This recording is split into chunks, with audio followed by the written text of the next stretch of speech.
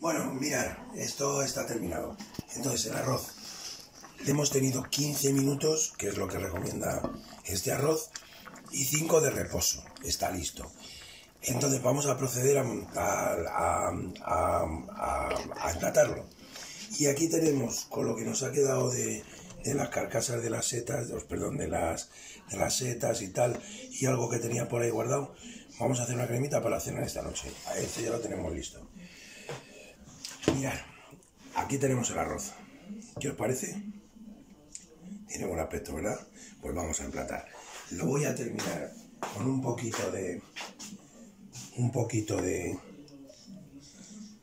De perejil y la parte de atrás de la cebolla tierna, que es algo que a mí me encanta. Eso lo aprendí hace tiempo de, de los orientales y de toda esta gente que, que hace cocina de este tipo. ¿Veis el trozo de boleto que yo pretendía cuando os dije para, una vez que lo encontremos, lo pondremos para que se vea un poquito más enterito el boleto ahí. Ahora buscaremos si hay algo más.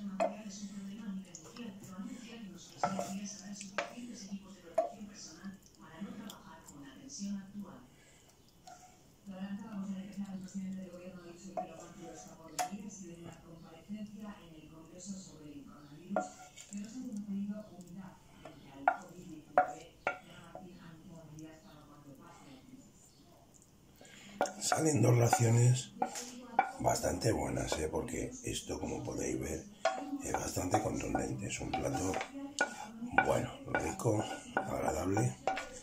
El arroz tiene un aspecto bastante bueno. Dejarme que lo, que lo termine de, de colocar un poquito. Y este será para Tere, que le gusta mucho más caldosito, que era la idea. Y el origen de este arroz a partir de cómo le gusta a ella caldos. Le ponemos un poquito de perejil y le ponemos un poquito de... Mirad, esta es la parte de atrás de la cebolla. Esto lo utiliza mucho en muchas cosas.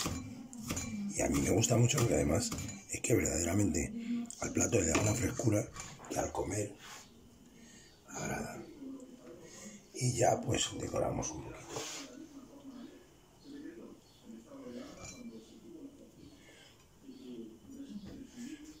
Ahora si me permites te aproximas bien con la cámara y los tomas un poquito de cerca y un poquito al otro.